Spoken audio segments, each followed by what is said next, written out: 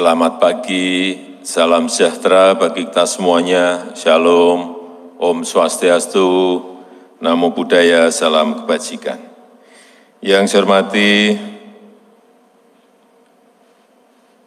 Menteri Desa dan para Menteri Kabinet Indonesia Maju yang hadir, yang saya hormati Gubernur, Bupati, dan Wali Kota, serta para rektor, yang saya hormati para kepala desa, seluruh pimpinan dan direktur badan usaha milik desa, BUMDesa, badan usaha milik desa bersama, dan para pendamping desa, para peserta Rakornas, Badan Usaha Milik Desa, hadirin dan undangan yang berbahagia.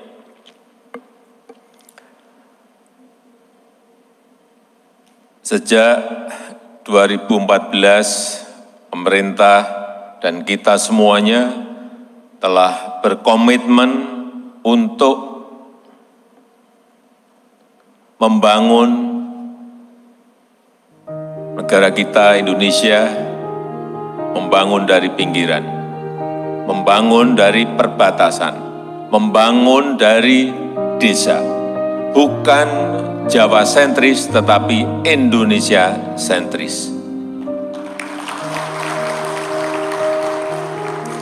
Yang kita bangun juga bukan hanya yang gede-gede saja, yang kita bangun juga bukan hanya yang besar-besar saja.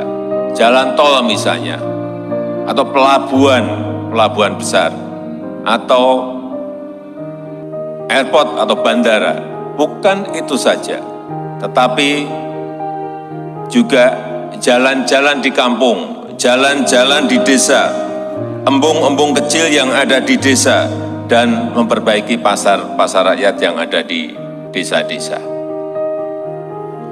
Dan perlu saya ingatkan bahwa penyaluran dana desa sejak tahun 2015 sampai saat ini kita sudah menyalurkan 400,1 triliun rupiah. Kok pada diem?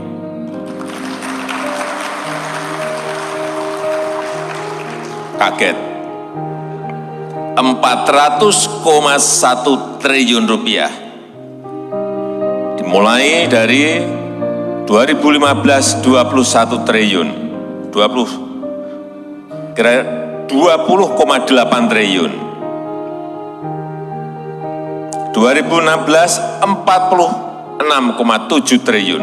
2017 59,8 triliun.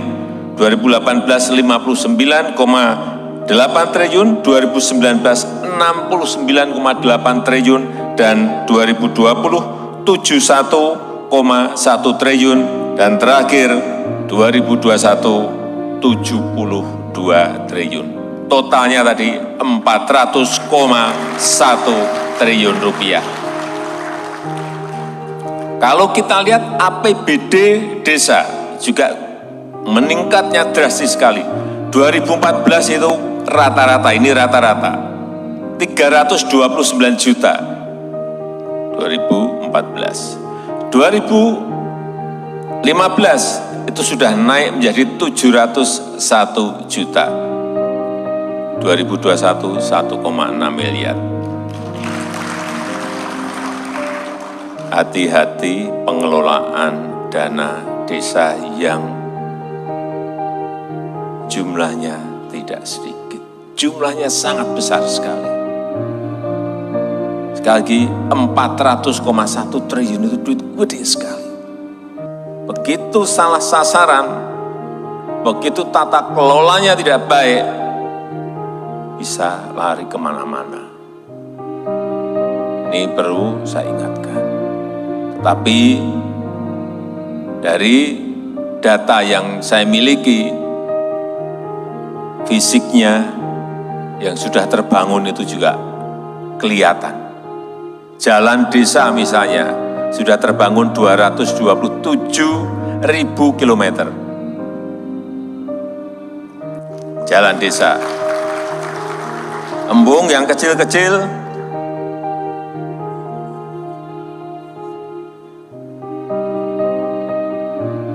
4.500 unit. Irigasi 71.000 unit. Jembatan 1,3 juta meter. 1 juta 300 meter jembatan. Itu dimeteri, bukan jumlahnya meter. Pasar desa ada 10.300 unit. BUMDes saat ini juga telah mencapai 57.200 unit.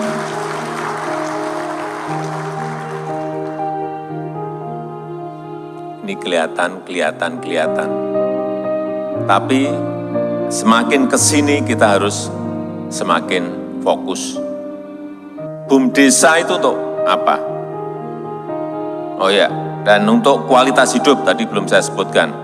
Untuk peningkatan kualitas hidup juga air bersih juga 1,2 juta kilometer.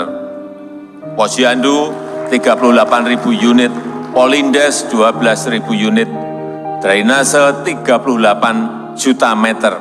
Ini terbangun semuanya, terbangun. Sumur 59 ribu unit, PAUD ada tambahan 56 ribu unit PAUD. Ada fasilitas olahraga, ada MCK, semuanya dalam rangka peningkatan kualitas hidup masyarakat desa terbangun. Dan yang sangat drastis adalah kenaikan dari BUM desa. Naik 600 persen tepatnya 606 persen. Dari yang 2014, 8.100 melompat menjadi 57.200 boom desa.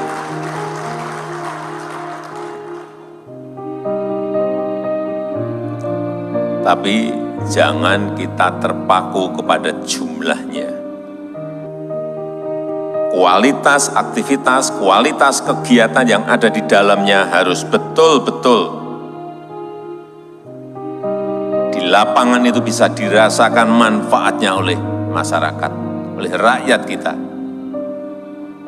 Jangan hanya dapat sertifikat badan hukum, kemudian buat plang, bum desa, desa Sukamakmur misalnya, hanya itu aja.